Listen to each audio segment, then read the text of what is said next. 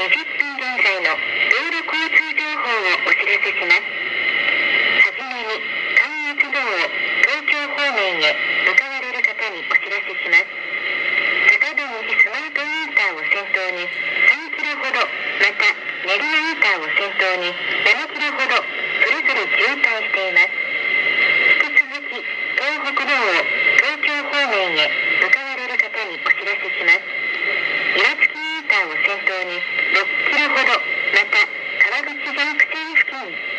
1キロポストを先頭に2キロほど、それぞれ渋滞しています。ハイウェイラジオ、北関東道、駒形より。